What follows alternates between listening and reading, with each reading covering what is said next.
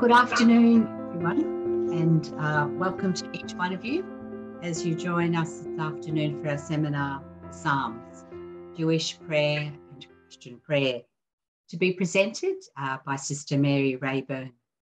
This seminar is offered as part of the work of the Sisters of Our Lady of Sion, Australia region. And so to begin, I'm on the land originally inhabited by the Wurundjeri people of the Kulin Nation and as we gather, we pay our respects to the peoples who originally inhabited and cared for the various lands on which we are located today. And we pay our respects to their elders, past, present, and emerging, as we work with them towards justice, peace, healing, and reconciliation. Uh, shortly, Sister Mary Reaburn will offer the keynote address. And following the presentation, there'll be a short for you to move into a small discussion group in a breakout room. This will allow you some time to formulate questions and to have a short discussion about what's staying with you from the presentation this afternoon.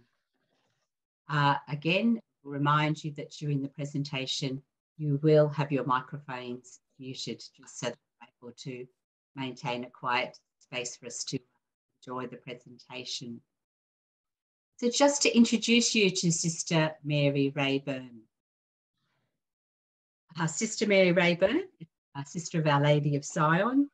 Mary teaches at Yarra Theological Union within the University of Divinity.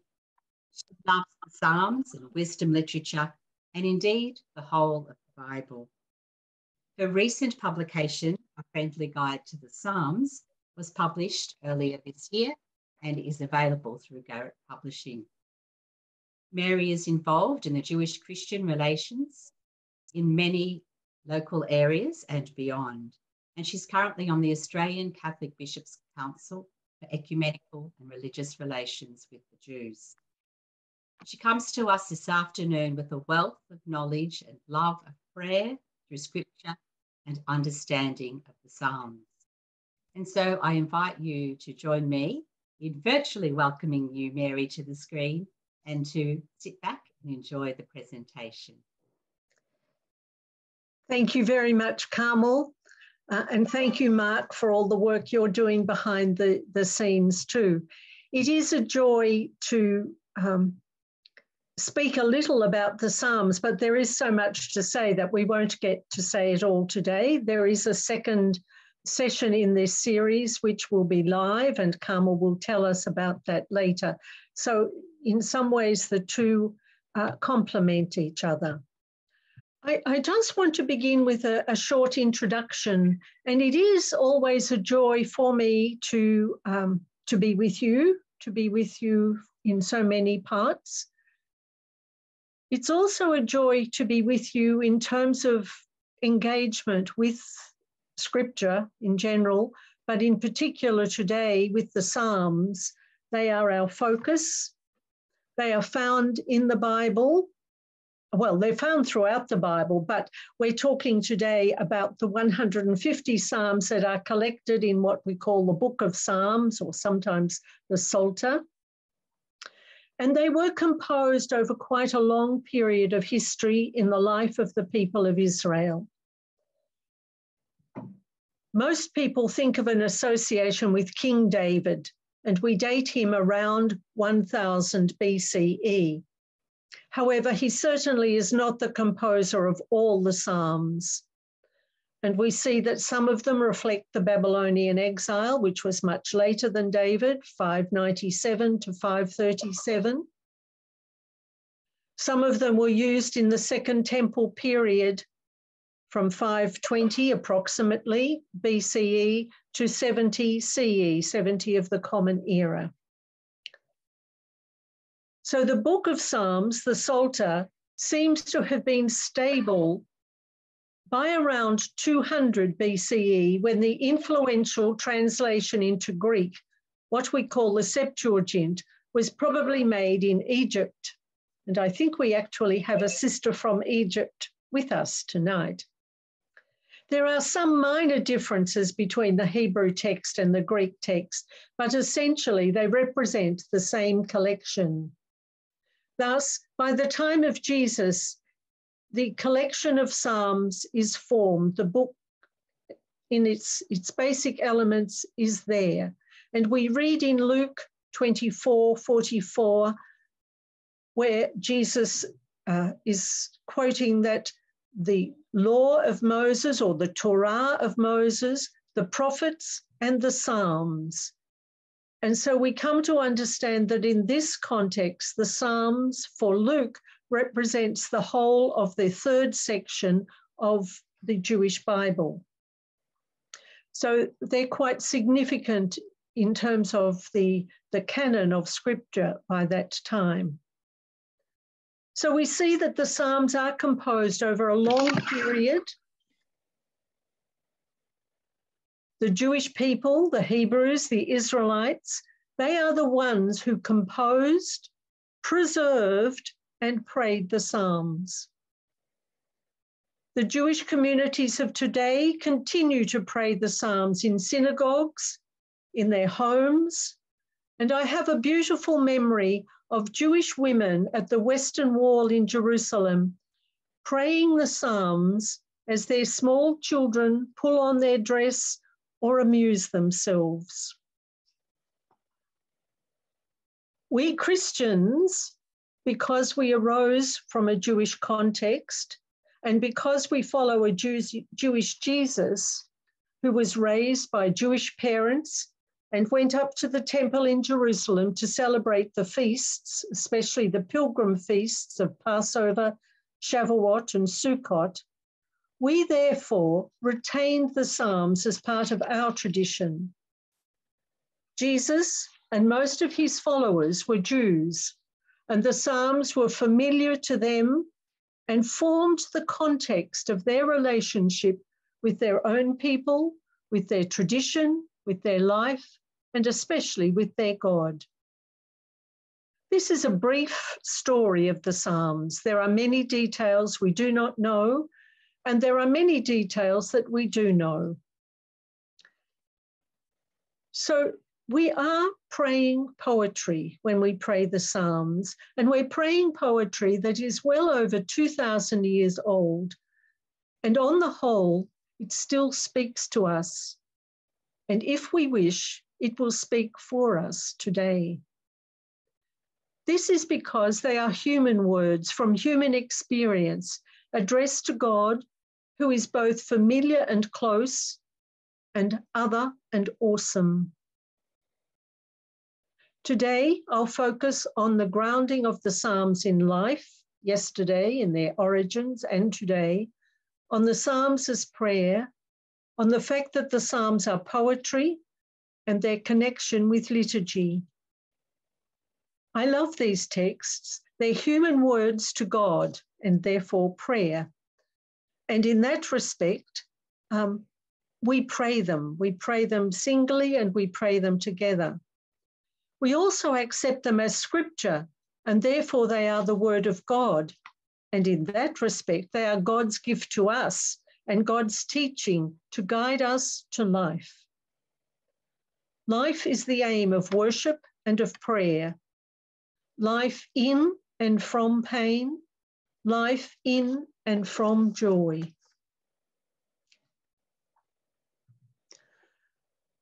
Very recently, Pope Francis said, We do not be, need to be afraid of our, our pain or um, to protect God from our pain in our prayer.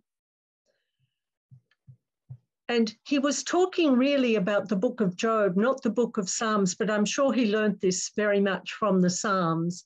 And he said that the book of, of Job represents um, the pain, especially when it seems to be excessive and unmerited, when pain and suffering befall individuals or families or a people.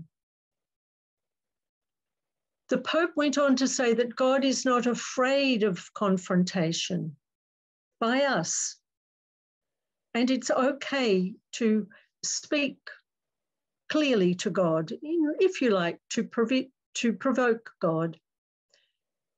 The Pope reminded us that God will listen to you And God is not afraid of our prayers or our protests. So this uh, this reminder, and he spoke this yesterday, and I, I think it's so true. The, ta- the Psalms teach us to speak honestly and directly to God and to speak our truth. So today we'll look at the Psalms as prayer and as liturgy. We look first at the ups and downs of life. We'll look at the Psalms as prayer, where we take these ups and downs of life to God, where we talk to God, where we dialogue with God, because we have a relationship there. And in real relationships, we speak, we dialogue, we engage each other. And the Psalms assist us in doing that.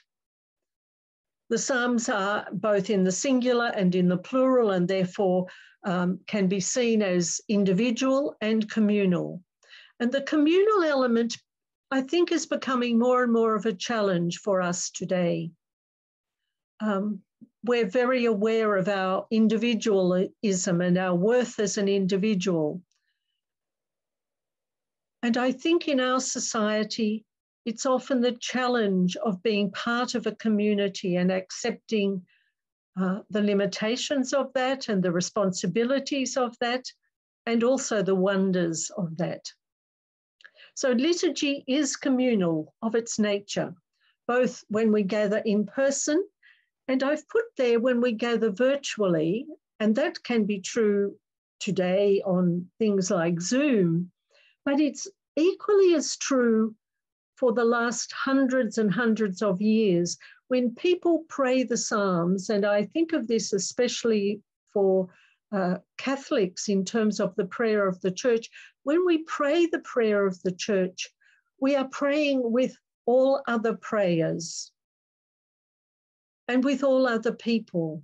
And we might be praying a lament psalm that speaks of great pain, and yet we may be feeling wonderful ourselves but we're praying with those who are in pain. So the virtual community is not simply about being online, but that virtual community of our imagination that is a much wider community.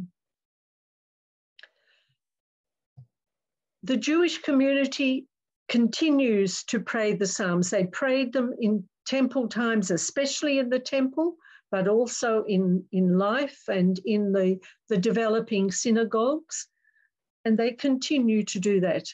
Unfortunately, there is no temple, so they are no longer prayed in the temple.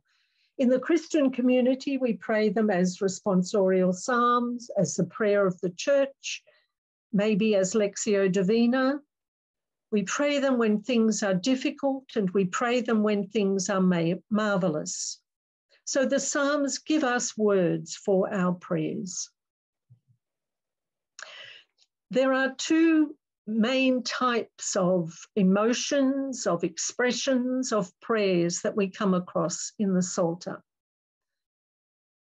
The most common, the most common genre are laments or petitions. And the other very common genre is the hymn, the hymn of praise, and it's relative, if you like, the thanksgiving psalm. So um, we we we know life in these two elements and we speak to God from these two things. And you'll notice that in the thumbs up, um, it's still going upwards. And in the in the image of great suffering from the period of the Shoah, you know, the hands are going up to God. So in both circumstances, we seem to think of God as up there, we know theologically that's not the case, but that's how we're, we're almost programmed as human beings when in prayer to, to look towards God, to look up towards God. So, the ups in life. There are Psalms which give expression to high points in life and even to the good enough times in life. Psalm 136 is such a psalm. It begins, Oh, give thanks to the Lord. And here in the NRSV, the Lord represents the sacred name.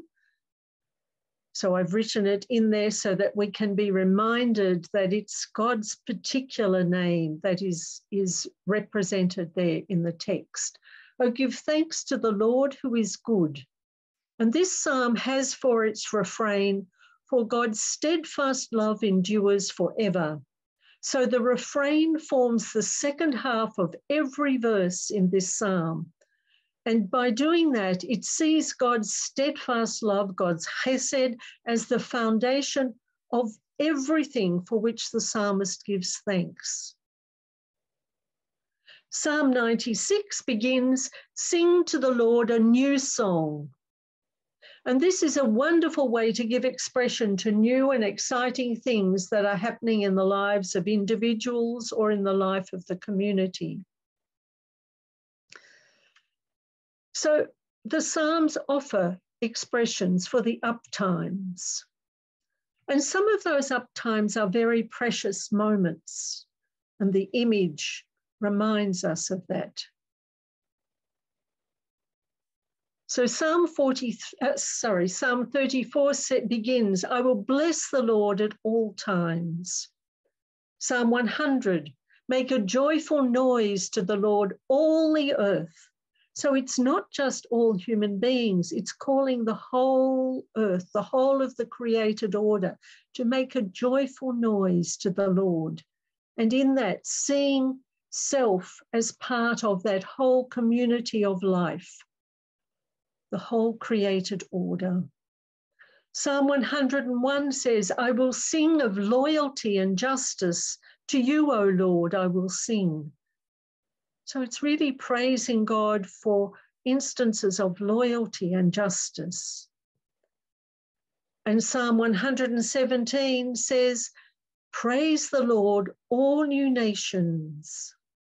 And how we wish we could pray that together in these days when there is so much unrest in our world.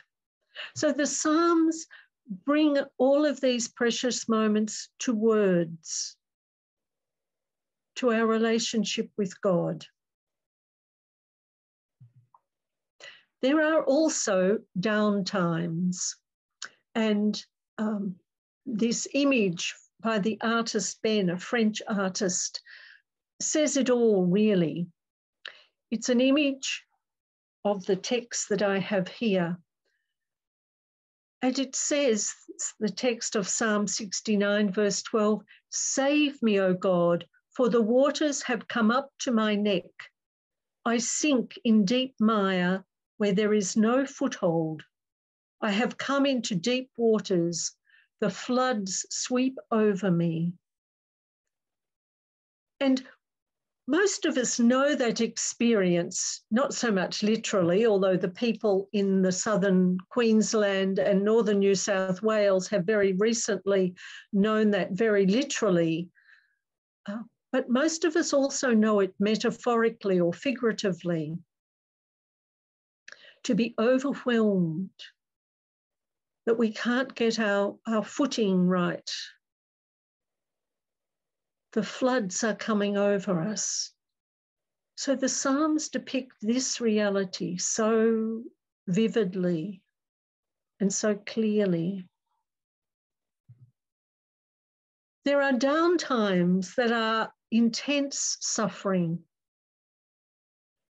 And we see from the images here something of that intense suffering. And Psalm 137, and lots of people object to this verse of, of the psalm, but I think it's really important that it's, it's there and it's not up to me whether it's there or not, but uh, I think it gives voice to something. It makes us think about intense violence and our response to it.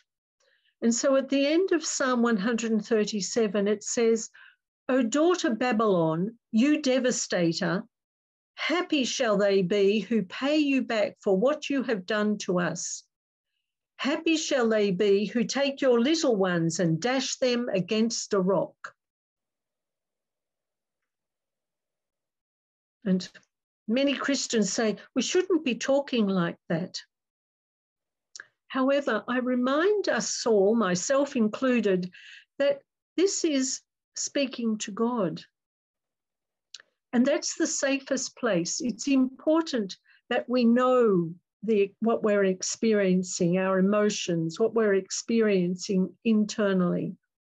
And it's important to give expression to them. And the safest place to do that is to tell God about it. Not to go and act and do the thing, but to tell God how intensely you're feeling it. Because for this psalm, the people of Israel had been taken into exile in Babylon. They'd lost their temple, their king, their land, well, most had, had been taken from the land as captives. And so they, they were helpless to do this, but they were feeling it very strongly. And we see images similar today. I did hear a, a young um, Yugoslavian, uh, sorry, a, a young woman say the other day, I hate the Russians. And I felt sorry that she said it but I could hear in terms of her people, the Ukrainian people, what, what had happened to them, why she was saying that. She wasn't going around acting on it, but she was giving expression. And so the Psalms invite us too to give expressions to those very intense feelings, but to do it in the safest way by speaking it to God. There are also down moments which reflect abandonment, that feeling of being abandoned by God. And Psalm 22, which the evangelist puts on the lips of Jesus, has him speak these words too. But each of us have known moments of abandonment, of feeling forsaken. And so there will be times when we wish to say, My God, my God, why have you forsaken me? Why are you so far from helping me? From the words of my groaning. Oh my God, I cry by day, but you do not answer, and by night, but find no rest. And for me, the, the words that really touch me, where um, God is far from the words of my groaning.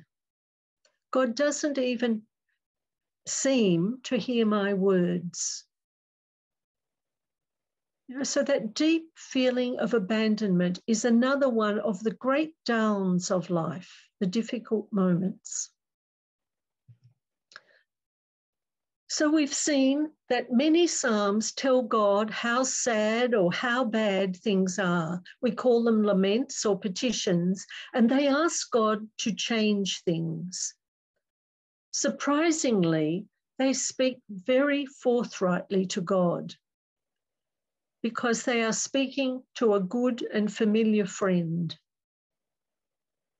And so in Psalm 44, it says, All of this has come upon us Yet we have not forgotten you or been false to your covenant. So we've been true, God, but you don't seem to be keeping your side of the covenant. So the Psalms again and again and again teach us to speak our truth to God.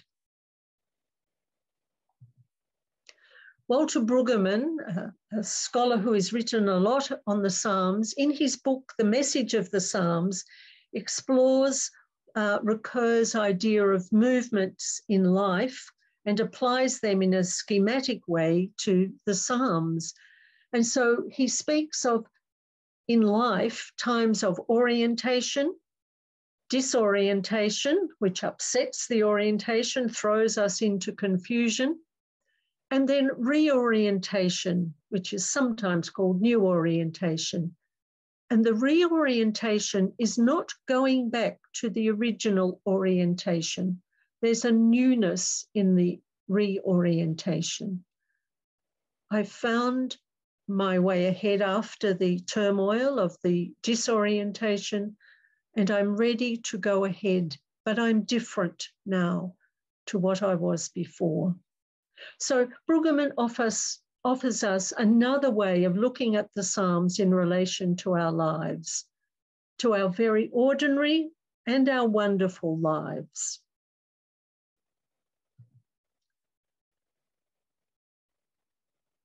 So the Psalms are especially, not solely, but especially lament and praise. The most common genre, the most common type of psalm is a lament, which give, gives expression to pain. It may be the pain of abandonment, of guilt, of violence, of defeat, of illness, of depression. The next most common genre is the hymn and its relation, the psalm of Psalms of Thanksgiving, Thus, the highs and the lows um, of life offer us a way of taking these emotions to God. And I do like the, um, the poster there. If there are no ups and downs in your life, then you're dead. Um, it, ups and downs are ordinary parts of life. The Psalms perhaps represent the more extremes, ups and downs, but we can pray them at any time. So, Psalms are prayers, not all of them, but many of them. In the simplest form of prayer, it's talking to God. So they are addressed, many of them addressed to God. And they speak the truth to God the truth of joy and gratitude, and the truth of pray, of pain, incomprehension, abandonment, and guilt. So they speak the truth as we are on the path of life. And we'll see later that Psalm 1, in many ways, invites us into the path of life. So, what does it mean to say that Psalms are prayers? It means, at simplest level, that they are addressed, or many of them are addressed to God. It also means that we are presuming that there is a God who listens.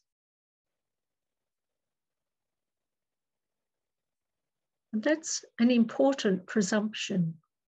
God is important in my life. I am presuming that God is listening to my prayers. Our prayers may reveal something about me or you or us as prayers and they will also reveal something of the God who is addressed in those prayers.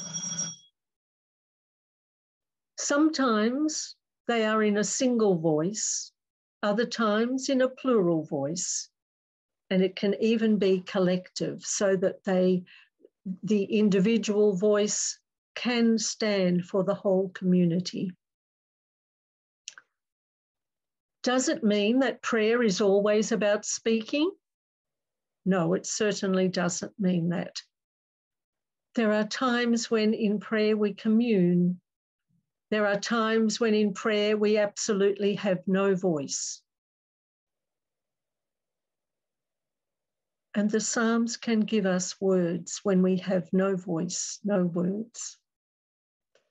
Does it mean that there's only one way to pray? No, the Psalms even offer differing ways to pray, and there are many ways beyond that. Does it mean that God can only be viewed or experienced in one way? No, it doesn't. Does it mean that these texts cannot also be understood as word of God? No, it doesn't. But if we see them as God's word, then they are a gift to us. If we see them as prayers, then they're our words to God. And I think both things are true. Do we always have to pray as a community? No. Do we always have to pray as an individual? No. Both are important. It's also important to remember that Psalms are poetry. So they're made up of words and symbols, metaphors. They come from deep experience of life and they often convey deeper meanings. As poetry, in terms of the words, they're often very brief. They use few words so that the listener or the reader can fill the gaps and allow a dialogue between the life of the prayer and the life and the poetry itself. So we enter into a dialogue with the poetry even as we pray it. The Psalms, as biblical poetry or Hebrew poetry, also have a lot of repetition. And one of those, and we'll, we'll note a little more about it in a minute, is parallelism. So that in a verse, uh, there are two halves normally of a verse, and it, it seems to repeat itself often. We also see that words, especially important words, are repeated. And in English, that's not good English writing, but in, in the Psalms and in, in biblical Hebrew, it's, it gives emphasis. It's a way of, of ensuring that what is being said is really heard, both by the prayer and ultimately our desire is that God will hear it. So when we talk about repetition in the poetry of the Psalms, um, the, first of all, as we look at our Bible, we can see from the setting, the way the Bibles are printed today, the setting usually indicates just visually that it's poetry that we're reading. But one very common element of biblical poetry is this repetition that I spoke about. And so we have what we call synonymous repetition. And one example is Psalm 22, verse 9, which says, Yet it was you who took me from the womb. You kept me safe on my mother's breast. And in a little while, we'll look at one of the metaphors as God as midwife. And this psalm is, is one of the psalms that speaks of God, uses the metaphor of midwife to speak of God. And it repeats itself. Yet it was you, God, you, the midwife, who took me from, from the womb. You, God, you midwife, kept me safe on my mother's breast. So it's almost saying the same thing, but usually the second half intensifies it. And that's what's happening here. Not only is God depicted as receiving the newborn child from the womb, but he's also the one who places that child on the mother's breast. And that's what ensures that life continues, the life of the newborn child. In um, contrasting parallelism, we get uh, something similar, um, but it, it's also very different. So Psalm 34, verse 10 says, The young lions suffer want and hunger, but those who seek the Lord lack no good thing. So it's contrasting the young, li- young lions, you know, the things that roar, the young lions, their suffering want. But those who trust in God lack no good thing. So it's making the point there by contrast, just in the one verse. There are also refrains that are repeated in Hebrew poetry. And when we looked at Psalm 136 at the beginning, we, we noted that the refrain there is the second half of every verse. That's the most developed use of refrains, but there are other refrains that we come across in the Psalms. And there are words and images that are repeated. And sometimes we also uh, get an interplay between the verses. So there is a lot of repetition and well used repetition in the Psalms. It's part of the poetry, it's part of the beauty of the Psalms. Robert Alter, a Jewish scholar, in his book, The Art of Biblical Poetry, says that, and he's speaking here of um, biblical poetry, poetry is the best words in the best order. Now, unfortunately, most of us are reading the Psalms in translation, so we don't get um, always the, the order of the words, but we do, we do get a sense of the words and the sparseness in the words.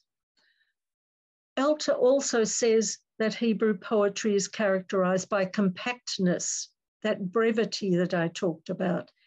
Doesn't use a lot of words, and so it engages our experience and our imagination as we dialogue with the poetry to unpack its meaning. And then he talks about the repetition, which I have mentioned, the repetition of meaning in the parallelism, but also there's repetition of, of the verbs and the subjects and the objects that, that we see there.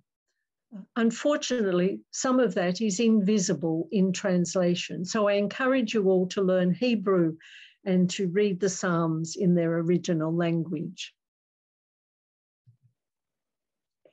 Here, I want to just look briefly at metaphors that abound in the Psalms.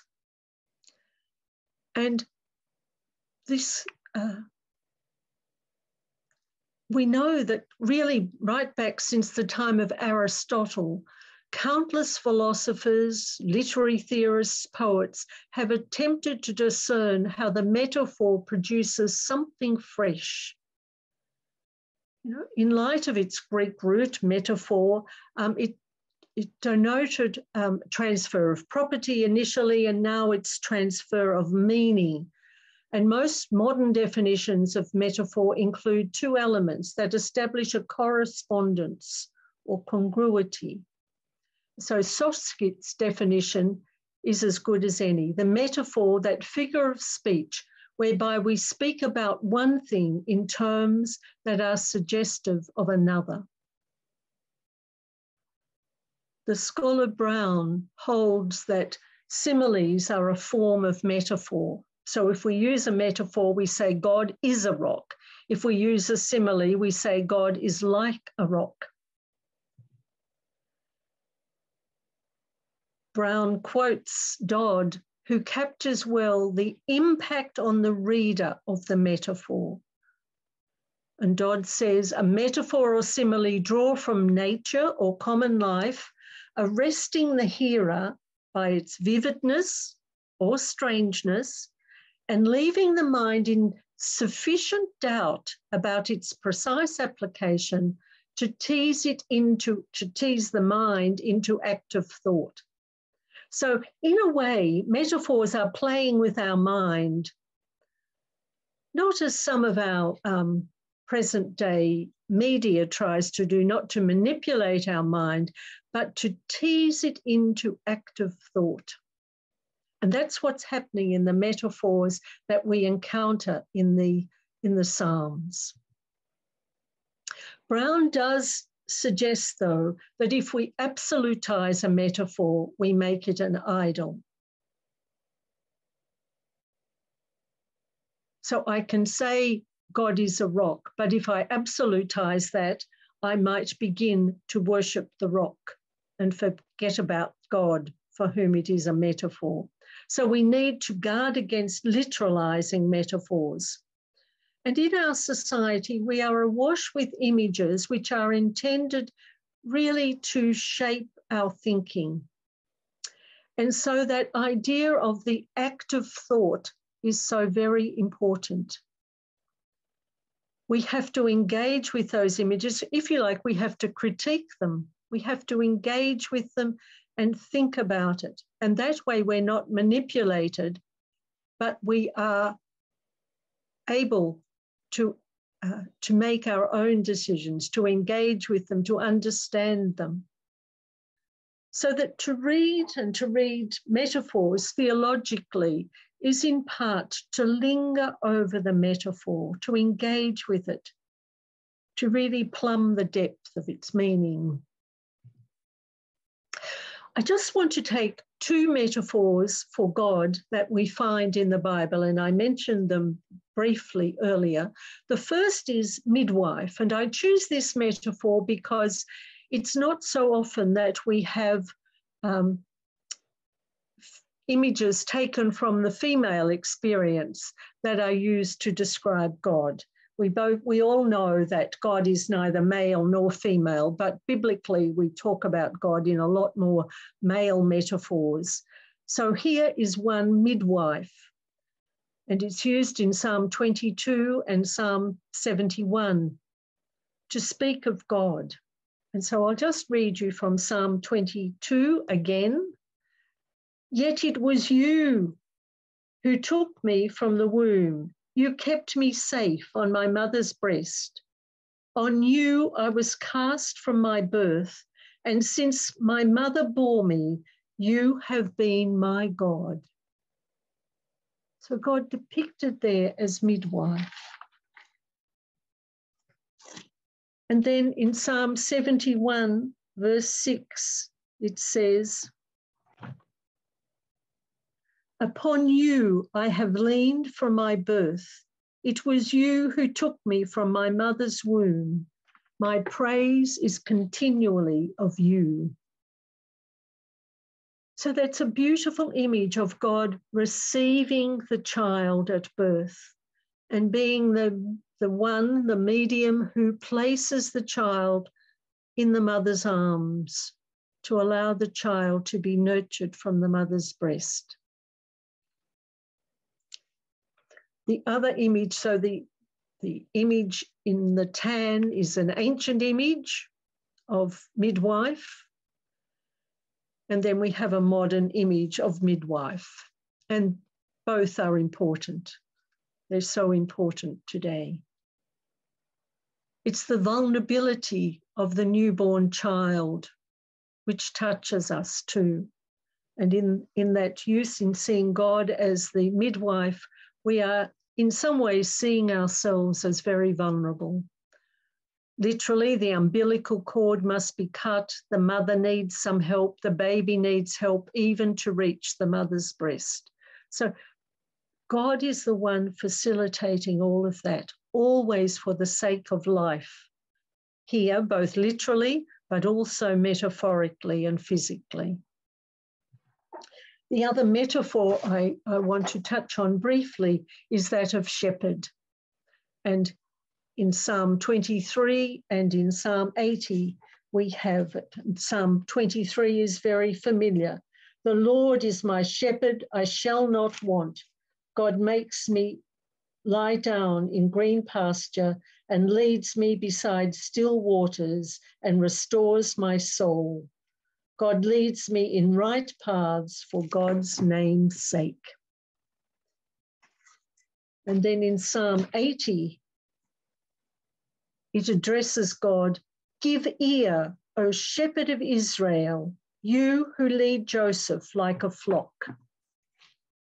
So the image there of shepherd, a familiar image, especially familiar in biblical times that image was then used of the king, who was supposed to be like the shepherd, caring for the people. And ultimately, the image is used of God, who is also understood as a shepherd, caring for the sheep.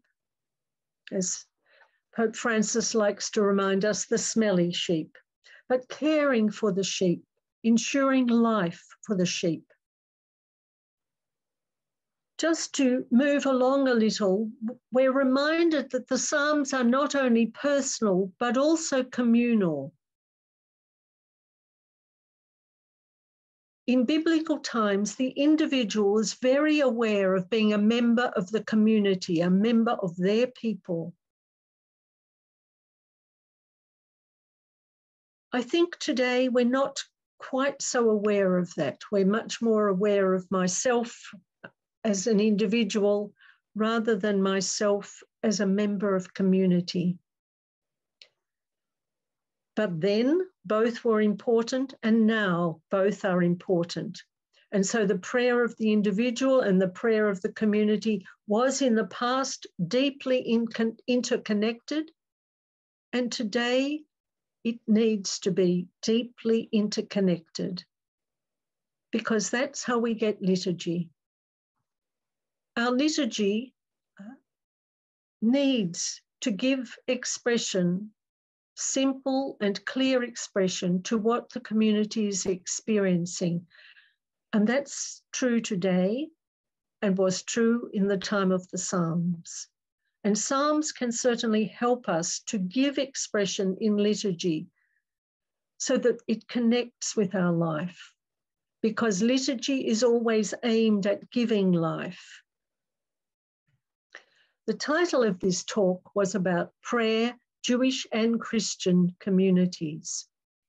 And on the 7th of September, you will receive a notice or for the 7th of September, you will receive a notice about another presentation by a Jewish scholar and a Christian scholar on Psalms in liturgy, and it will emphasize this element even more particularly. Here we have an image of the model of the temple in Jerusalem, the second temple, which was the temple in Jesus's time and the temple which was destroyed by the Romans in 70 of the Common Era. Many of the Psalms were composed for use. Some maybe for the first temple and certainly were used in the second temple. So they are, in their origins, many of them, they are the words that accompany the liturgy. So in their history, they are connected with liturgy. They were most probably chanted. And it's in the chanting, in the familiarity, in the repetition that comes there that we see um, they give the community a voice towards God. So, Psalms were composed to be used in the liturgy of the temple. Some may be the first temple, many for the Second Temple and especially for the three pilgrim feasts, not only, but especially for the three pilgrim feasts. The Feast of Passover, the Feast of Shavuot, which is sometimes called Pentecost, and for the Christians here, when the Acts of the Apostles speaks of the Feast of Pentecost, it's not talking about our feast, although it is in that context, it's talking about the Jewish feast of Shavuot. And then the third of the pilgrim feasts was the feast of Sukkot, sometimes called the Feast of Tents or Tabernacles. They're the three pilgrim feasts where Jewish people who possibly could were to go up to Jerusalem.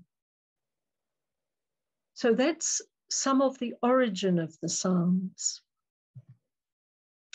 but they're also used in, in historically they were used in the synagogues which were developing um, towards the time of the destruction of the temple and became then much much more central after the destruction of the temple they're used in the wider family community and used personally in 70 of the common era the temple was destroyed by the romans and the Jewish community continued to pray the Psalms. The Christian community, which is forming at that stage, also, because the Christian community comes out of the context of Judaism, they also continue to pray the Psalms. And so we have, even today, both communities using the Psalms in their liturgy.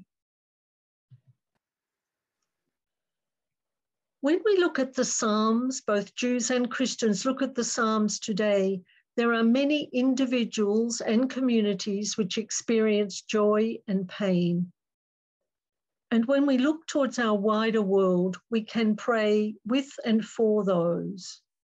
For those in pain in Afghanistan, in the Ukraine, in Yemen, in Australia, in the areas where there have been floods and fires, and so many other things that cause deep pain. So that communities um, can offer a good, loud, collective lament to God about the pain. Or they can sing a great song of praise together And in a way, that's the foundation of our liturgy, coming together in our collective pain or our collective joy. So, for Jews and for Christians, the Psalms are a means of lamenting and praising, both individually and especially together. That doesn't mean that others cannot do similar things, but we share this common um, heritage. Jews and Christians share the Psalms historically, but sadly, in a way, we seldom pray them together and we seldom pray them together for the sake of the wider community. It's important for Christians and Catholics in particular to remember that in 2001, the Catholic Pontifical Biblical Commission wrote a document, a long document, which reminds Catholics of how indebted we are to Judaism in terms of our scriptures, and it recommends that we benefit from Jewish scholarship in terms of our Christian study of the scriptures in general and in tonight's context, the Psalms in particular. One thing that we share in common, Jews and Christians, is a concern for our wider earth community. And there are three Psalms, Psalm 8, 19, and 104, which are often called creation Psalms. Um, and they, they speak but they are praising the Creator. They're all hymns. Each of those is a hymn praising God as Creator. And maybe today the anomaly is that we need to also lament about our created order because of the way it is deteriorating. So, just to remind us that God is the creator of all. So Psalms are essentially relational, many of them addressed to God and therefore prayers. They are, in a way, essentially communal and they give expression to a range of emotions. Psalm 1 suggests that the person who delights in God and meditates on God's Torah day and night will be happy and it's the first psalm. And from its position there, it indicates that perhaps we should read the Psalter, the book of Psalms, as Torah, as God's teachings. So let's just look briefly at Psalm 1. It's the first psalm and it serves as an introduction to the whole Psalter. And by being an introduction, it suggests that all the Psalms are to be read as Torah, God's teaching to us about life and for life. It also, Psalm 1 also suggests that life is about choices. And so Psalm 1 reads Happy are those who do not follow the advice of the wicked, or take the path that sinners tread, or sit in the seat of scoffers, but their delight is in the Torah of the Lord, and on God's Torah they meditate day and night. They are like trees planted by streams of water, which yield their fruit in its season, and their leaves do not wither. In all that they do, they prosper. The wicked are not so, but are like chaff that the wind drives away. Therefore, the wicked will not stand in the judgment, nor sinners in the congregation of the righteous. For the Lord watches over the way or path of the righteous, but the way or path of the wicked will perish. And so that psalm is saying to us do you want to be chaff, or do you want to be a tree planted with good roots beside water? I have taken the liberty of using an Australian gum tree there, which well does bear fruit, but not fruit that we eat. Um, but that's the choice this psalm is inviting us to make. And so when we come to Psalm 1 and to the whole Psalter, because it's the introduction, we come seeking righteousness. And we look at the way we are with each other and with all of creation. We come in order to bear fruit, or that's the challenge that the psalm invites us to, to bear fruit for our communities and our world. The psalm invites us to listen ultimately to God's gracious teachings, God's Torah. We come with Psalm 1 to pray that our work together will produce fruit, happiness, righteousness. And we come to know our God. I just want to take, and I, I will finish in a couple of minutes, but I just want to also look at an example of a lament. Psalm 13, an individual lament. Its heading in the Hebrew is To the Leader, a Psalm of David. The psalm begins How long, O Lord, will you forget me forever? How long will you hide your face from me? How long must I bear pain in my soul and have sorrow in my heart all day long? How long shall my enemy be exalted over me? Consider and answer me, O Lord my God. Give light to my eyes, or I will sleep the sleep of death, and my enemy will say, I have prevailed. My foes will rejoice because I am shaken. But I trusted in you. I will sing to the Lord who has dealt bountifully with me. So, this lament, we don't really know what the problem is, but we get a sense that enemies are at least part of the problem. Enemies have something to do with what, with the suffering of the psalmist. And we have to ask ourselves who do you think of as enemies? Is it other people? Is it cancer? Is it climate change? Is it depression or oppression? Is it modern slavery? It's, is it war? So we have to engage with it. You know, we're activating our mind as these metaphors there. We note the questions in it. Four times, how long, how long, O Lord? The questions there and the repetition of them. Note the relationship because the psalm asks God to consider and note the trust in the in the past, uh, the trust in the present, in the pain, and the trust in the future that I will sing And then finally, just to share with you the shortest psalm, which is also universal. It's marvelous. It says, Praise the Lord, all you nations, extol God, all you peoples, for great is God's steadfast love towards us, and the faithfulness of the Lord will endure. Praise the Lord, which in Hebrew is Alleluia.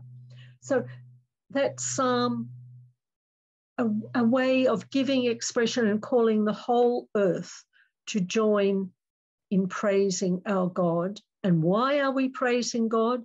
For God's steadfast love towards us, for God's faithfulness towards us, us as, as a people, us as a race.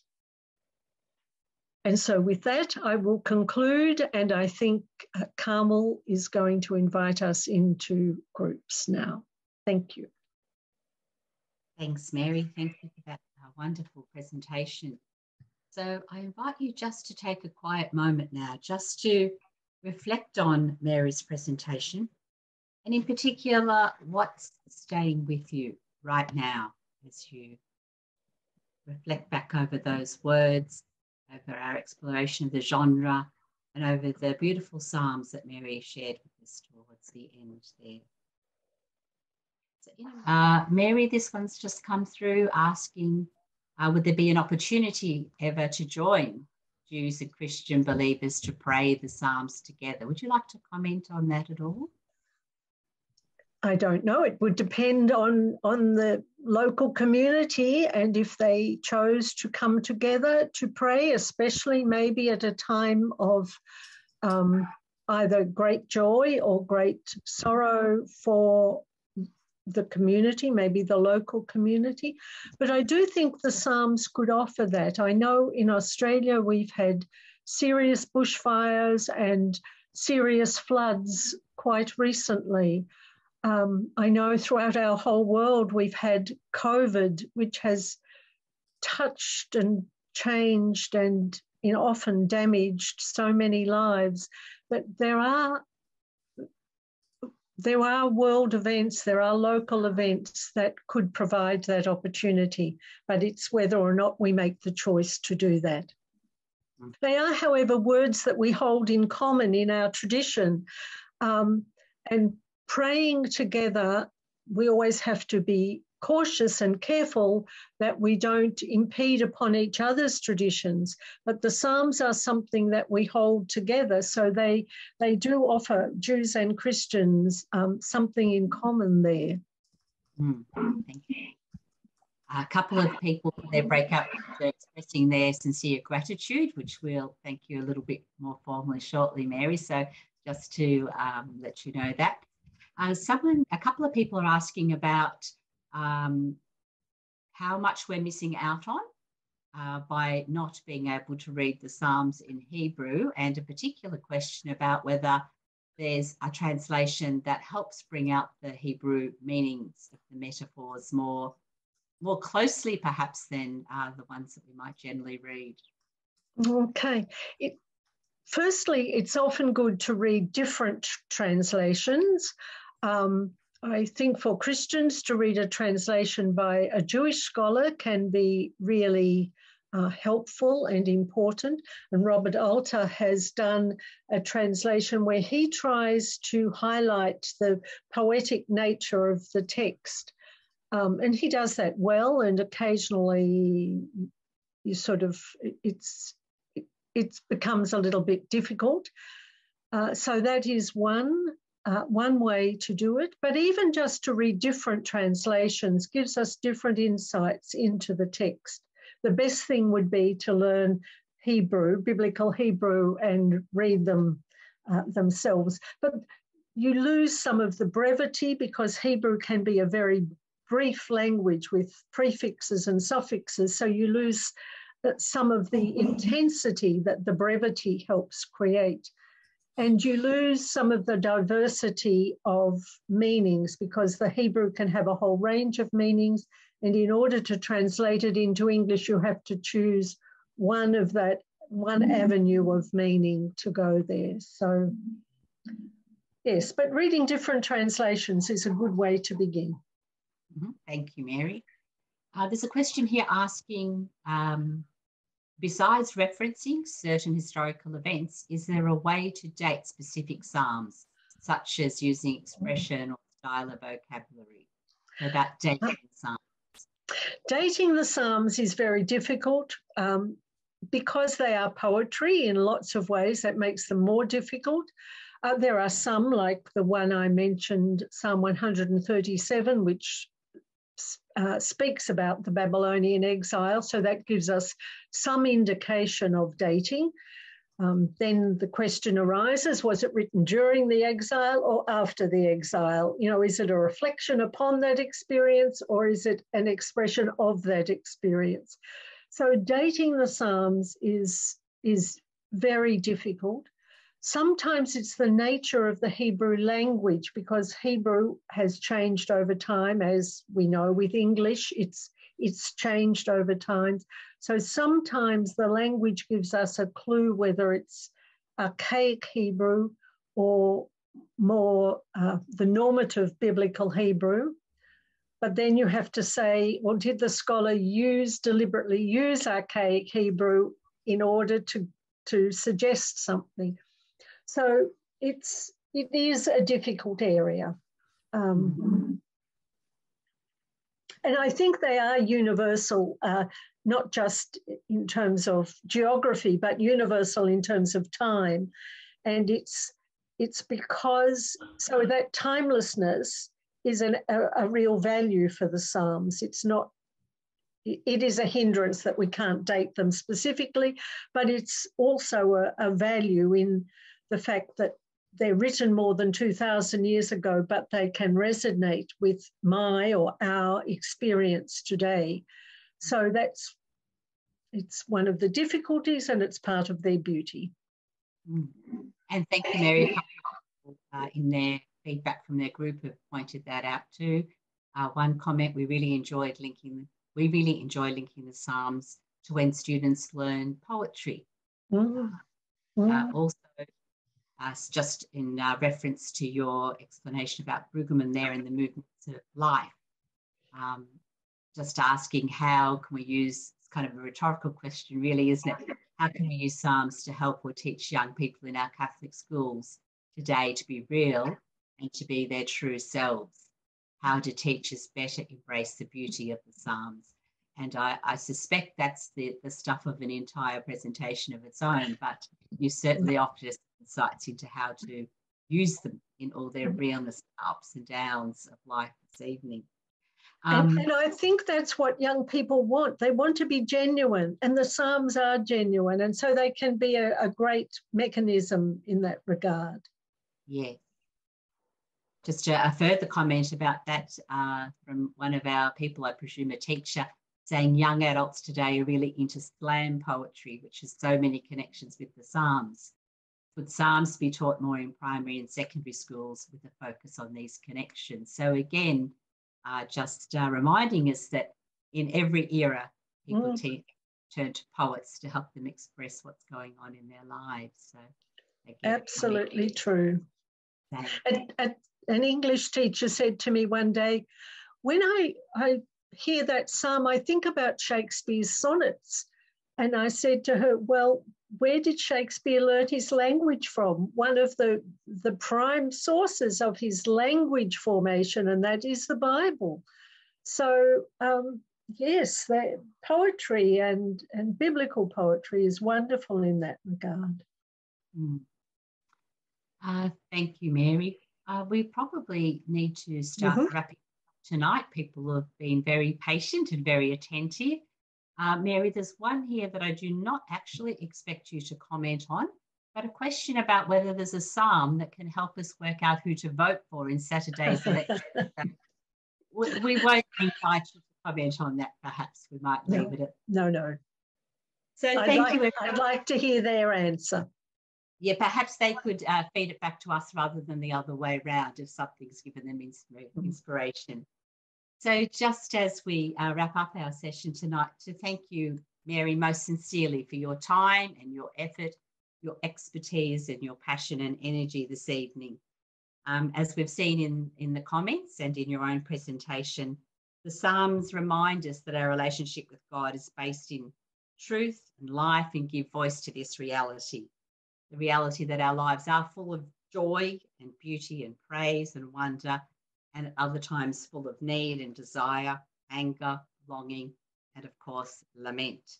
So, Mary, again, our thanks, and we'll give you the virtual clap rather than a, a big loud one, just to most sincerely thank you for your presentation this evening and for your inspiring work around our Psalms.